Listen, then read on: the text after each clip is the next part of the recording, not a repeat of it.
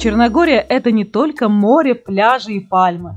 В этой маленькой стране есть все четыре сезона и самая настоящая зима со снегом.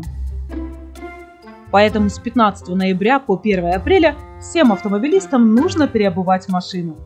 Но кроме зимней резины, важно еще иметь в багажнике цепи на ваш диаметр колес. Конечно, применять их стоит только на заснеженных участках дорог. Но есть и исключения из правил. Если вы все время живете на море или в Подгорице и не собираетесь подниматься в горы, тогда можете ездить на летней резине. Зная, как наши люди любят пренебрегать правилами, предупреждаю, что за неиспользование или отсутствие зимней резины и цепей предусмотрен штраф от 80 до 300 евро. Перед Старым Новым Годом выпал первый приличный снег в Жаблик, и мы тут же с друзьями отправились в зимнюю сказку. Об этом будет отдельный ролик. И в один из дней мы решили проверить, сколько же выпало снега на горном перевале Седло, где обычно не проехать до июня месяца. И хоть снежный покров был небольшой в этот день, но наш джип с четырьмя ведущими колесами стал буксовать. И тогда мы решили надеть цепи, ну что, вот мы первый раз и застряли в снегу. Первый опыт в жизни Андрея и Алексея. Будут ставить цепи. Слушай, прикольные, красивые такие. Да, можно на шее У них неплохо получается, знаешь. С первого раза? Да. Вообще, без инструкции. Давай их отдадим в автосервис на подработку. Это не сюда. Вот петля. Да, если пентаграммы, то вот петля вот для этого и нужна, смотри. А. Есть центр колеса, смотри, должен стать вот здесь. Да. Решили наехать на цепи, чтобы можно было их потом застегнуть. Все, стоп, назад. Ну а я пока вам город покажу. Красиво у нас тут. Кто-то называет это место долиной тишины.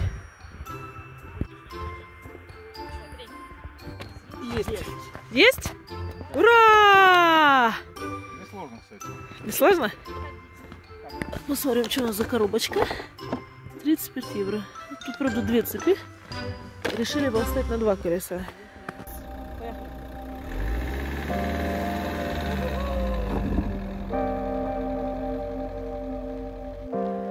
Вот таких два стола с лавочками стоят. Ждем мальчишек. Идут вон. Оставили машину. А в этом домике очень любим бывать летом и осенью. Тут очень вкусные ликеры, горный такой чай травяной, кофе варит. Внизу, кстати, озеро. Ну что, мальчики, расскажите, как оно было ставить цепи, какие выводы сделали? Ставить цепи легко, нету вот этого геморроя, там наезжает на них, мы все-таки не танк, а мы просто можем заехать, э, поставить машину, продеть цепь, как ремень застегнуть. Мы же двумя способами решили поставить. Первый способ, вы просто наехали, знаете, там есть классическая раскладка, это когда вы просто стелите цепи и наезжаете колесом, и потом застегиваете. И как оказалось, это очень, блин, долго. Намного быстрее просто рук руками продеть сзади колеса этот замок, застегнуть и спереди застегнуть. Вообще занимает, наверное, минуты две, максимум три на одно колесо. Едем уже домой, встречаем две машины с китайскими туристами. Только что с ними обедали вместе в ресторане. Машины у них не 4 на 4. И они скользят, вообще не могут по этому льду проехать. И нам дорогу заслонили, и сами встали.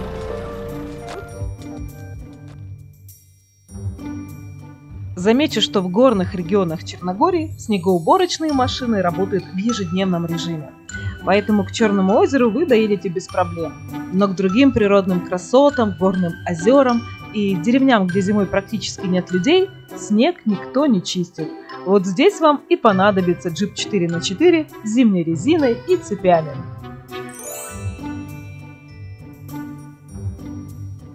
И напоследок дам совет. Не стоит повторять наш опыт и ездить на горные перевалы зимой. Это может быть небезопасно. Подождите май или июнь, пока снег растает самостоятельно. Ну и о состоянии дорог в Черногории, о ремонте, о снежных завалах, о требованиях и законах вы можете всегда узнать информацию на сайте Автомото.цг. Оставлю ее в описании. Всем желаю приятных и, главное, безопасных путешествий по зимней Черногории.